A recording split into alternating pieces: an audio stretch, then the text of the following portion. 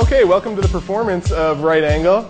Uh, this is what it looks like you, you're doing tables at your restaurant or for your magician friends or your family. Uh, and you've been doing pen tricks. I, I love doing pen tricks all night. Uh, then I start talking about telekinesis, the power of bending objects, in this case, a Bic pen. Uh, so if you watch closely, uh, you guys can actually see the pen, it starts to melt. Look at that. It's actually bending on its own. Whoa! It's got a mind of its own. You take the cap off. Still a little warm, but you can totally check it out right away. Immediately examinable.